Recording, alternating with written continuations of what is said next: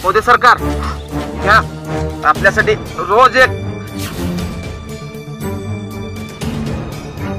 দুর্বল তানারা এই ভিডিওটি দেখবেন না বিজেপির কি উল্টো গুনতি শুরু হয়ে গেল মহারাষ্ট্রের এই আত্মা কাঁপানো ভিডিও সোশ্যাল মিডিয়াতে এখন ভাইরাল বিজেপির বিরুদ্ধে আমরা মানুষের অনেক রকম প্রতিবাদ দেখেছি রাস্তায় নেমে প্রতিবাদ সোশ্যাল মিডিয়াতে প্রতিবাদ কিন্তু যেই আগুলে বিজেপিকে ভোট দিয়েছে সেই আগুল কেটে প্রতিবাদ এই মুহূর্তে সোশ্যাল মিডিয়াতে ঝড় তুলেছে আপনারা সেই ভিডিও দেখুন তারপর কথা আগে বাড়াবো मोदी सरकार और भारतीय जनता पार्टी की उल्टी गिनती अब शुरू हो चुकी है इन्हें लेकर अब विरोध प्रदर्शन जो है वो लगातार बढ़ता जा रहा है आपने मोदी सरकार के विरोध में प्रदर्शन करते हुए लोगों को देखा होगा, सड़कों पर बैठे लोगों को देखा होगा। यहाँ तक कि खून से लिखे लेटर खून से साइन भी लोगों के देखे होंगे मोदी सरकार के विरोध में।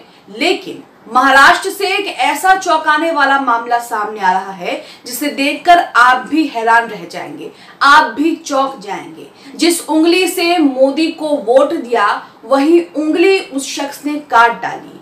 इसका एक वीडियो भी सामने आ रहा है। वीडियो बेहद डिस्टर्ब करने वाला है लेकिन वीडियो का कुछ हिस्सा आपको दिखाएँगे कि वो शख्स किस तरह से अपनी उंगली काटकर मोदी सरकार को अ, मोदी सरकार का विरोध कर रहा है और साथ में ये भी कह रहा है कि मैं हर हफ़्ते अपने शरीर का एक अंग काटकर जो है वो देवेंद्र फडणवीस को भेजूँगा। पूरा मामला क्या है मैं आपको बताऊँगी लेकिन सबसे पहले आप ये वीडियो देखिए। वाटतं ना? मोदी सरकार घ्या. आपल्यासाठी रोज एक ये वीडियो आपने देखा वीडियो में शख्स जो है वो महाराष्ट्र की जो लोकल लैंग्वेज होती है उसी में बात करता है और उसके बाद वो अचानक से वहाँ पर रखे हथियार से अपनी उंगली काट लेता है। वो कहता है कि इसी अ, उंगली से आपको वोट दिया था इसी उंगली से बटन दबाया था और अब यही उंगली काट रहा हूँ। तो लोगों का, लोगों के अंदर मोदी सरकार को लेकर आक्रोश, विरोध जो है, वो आप इस वीडियो से अंदाज़ा लगा सकते हैं। अब सवाल है कि आखिरकार इस शख्स के साथ ऐसा क्या हो गया जो इसने इतना बड़ा कदम उठा लिया और उसके बाद ये ये भी कह रहा है कि मैं हर हफ़्ते अपने शरीर का एक अंग काटकर मुख्यमंत्री को भेजूँगा, डिप्टी सीएम को भेजूँगा। तो पूरा मामला जानने के लिए नवभारत टाइम्स का ये आर्टिकल देखते हैं। नवभारत टाइम्स का ये आर्टिकल आपके सामने है। आर्टिकल की हेडलाइन में ये लिखा हुआ है कि जिस उंगली से मोदी सरकार बनवाई वो काट दी। हर हफ़्ते काटूँगा एक अंग।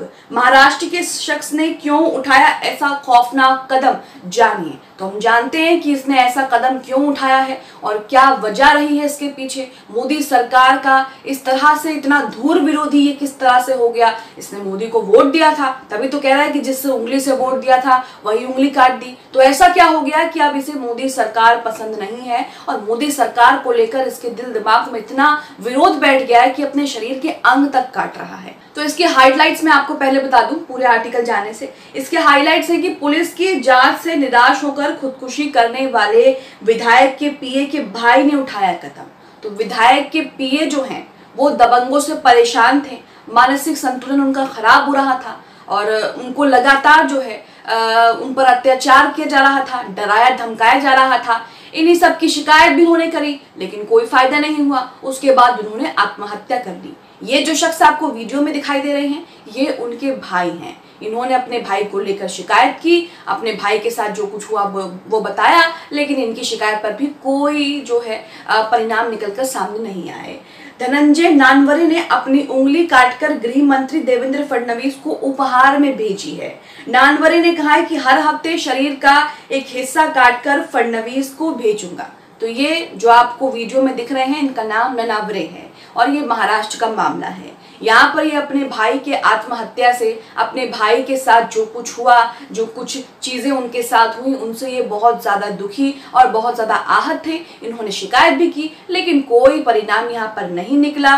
पुलिस प्रशासन का काम करने का तरीका तो आप सभी जानते हैं, और उसी से परेशान होकर इन्होंने जिस उंगली से मोदी को वोट दिया था, जिस उंगली से सरकार बनाई थी, वही उंगली काट दी। अब पूरा आर्टिकल देखेंगे कि पूरा आर्टिकल क्या है। आर्टिकल में लिखा है कि नंद कुमार ननावरे ने लगभग 20 दिन पहले अपनी पत्नी के साथ खुदकुशी कर ली थी। कहा जा रहा है कि वो अंबरनाथ के विधायक बालाजी किनीकर के पीए थे। सुसाइड नोट और एक वीडियो से खुलासा हुआ कि ननावरे दंपत्ति कुछ दबंगों से परेशान थे। उन्होंने वीडियो में सतारा से, सतारा के कुछ लोगों और अधिवक्ता का नाम लेते हुए कहा था कि ये सभी लोग उन्हें मानसिक रूप से प्रताड़ित कर रहे हैं। इनकी वजह से वो अपनी पत्नी के साथ आत्महत्या करने को मजबूर हुए हैं। इस घटना के ही 20 दिन बाद भी किसी की भी गिरफ्तारी नहीं हुई।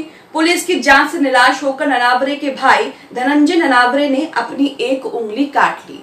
तो आपने वीडियो में जिस शख्स को देखा, वो ननावरे के भाई धनंजय ननावरे हैं। धनंजय ननावरे के भाई ने और भाभी ने खुदकुशी कर ली क्योंकि दबंगों और अधिवक्ताओं द्वारा उनको सताया जा रहा था और उनकी आ, किसी भी बात पर कोई सुनवाई नहीं हो रही थी इसलिए उन्होंने जो है आत्महत्या कर ली। उसके बाद उनके भाई धनंजय ननावरे जिनका वीडियो आपने देखा उन्होंने भी पुलिस की कार्रवाई देखी और पुलिस ने 20 दिन हो गए घटना के लेकिन पुलिस ने अब तक किसी को गिरफ़्तार नहीं किया। हालाँकि सुसाइड नोट में उन्होंने साफ़ साफ़ कई लोगों का कई लोगों का नाम लिया है और कई लोगों पर आरोप लगाया है कि उन्होंने मुझे परेशान किया और हमें जो है मानसिक रूप से हमें जो है प्रताड़ित किया लेकिन उसके बावजूद भी पुलिस ने यहाँ पर कोई कार्रवाई नहीं की जिससे आहत होते हुए इन्होंने ये कदम उठाया হিন্দু বিপদে না হিন্দু বিপদে নয় মুসলমান বিপদে মুসলমানও বিপদে নয় দেশ বিপদে দেশের মানুষ বিপদে ভয়ঙ্কর সংকটের মধ্যে রয়েছে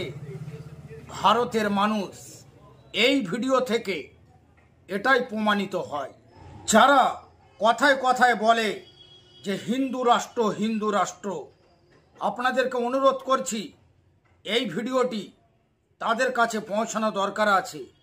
যারা ভারতকে হিন্দু রাষ্ট্র হিসাবে দেখতে চাইছে, আপনাদের মতামত কি? অবশ্যই কমেন্টে লিখে যাওয়া